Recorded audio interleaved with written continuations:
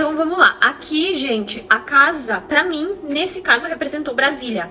Então lá onde fica, né, os políticos, alguma coisa acontecendo lá na semana e virando notícia. Então algo que vai impactar um pouco as pessoas e também é, um, vai chamar atenção não só de pessoas do Brasil, como pessoas de fora. Sobre dinheiro, gente, como eu falei para vocês aqui, me mostra assim para vocês tenham cuidado. Como vai ter esse apagão que eu falei para vocês, quando acontece esse apagão, os hackers, né, vão começar a invadir.